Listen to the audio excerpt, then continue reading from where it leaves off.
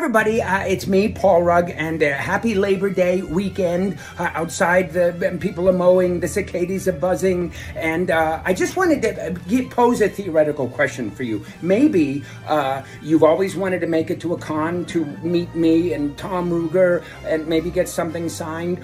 Maybe you can't get to a con. Maybe there's no gas. Maybe you're not allowed into a con. That's possible. Maybe the weather's bad. There's a lot of theoretical reasons why you couldn't make it to a con. Maybe you don't like people.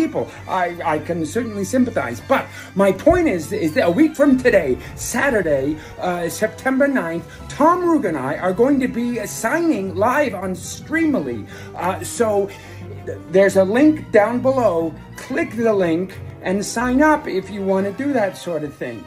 Uh, if you don't, don't click the link.